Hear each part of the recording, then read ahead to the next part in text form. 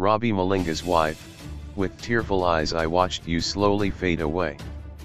Emotions ran high at the Rhema Bible Church in Randburg when a letter written by Robbie Malinga's widow, Ann was read out at his funeral. Ann poured her heart out about the amazing husband and father he was, and how the memories they made will live on with her forever. To my dearest husband, there were two hearts that used to beat together, now there is one. I've shared many tears since I lost you and many more will pour because I've lost a good man Ann thanked her husband for teaching her the importance of respecting their marriage and for protecting their family always. My heart is broken into a million tiny pieces but I will cling onto the memories that bring you near. Ann reflected on Malinga's final day and the pain that she watched him endure. I wish I could touch you one last time without bringing back the pain.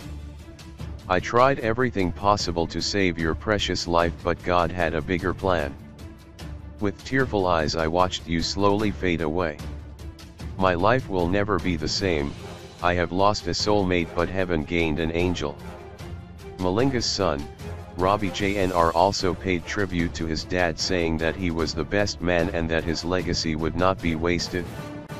He built a foundation and I have to build on top of that. I'm Robbie Malinga II and I also want to be the best. Malinga died on Christmas Day after being diagnosed with pancreatic cancer in June this year.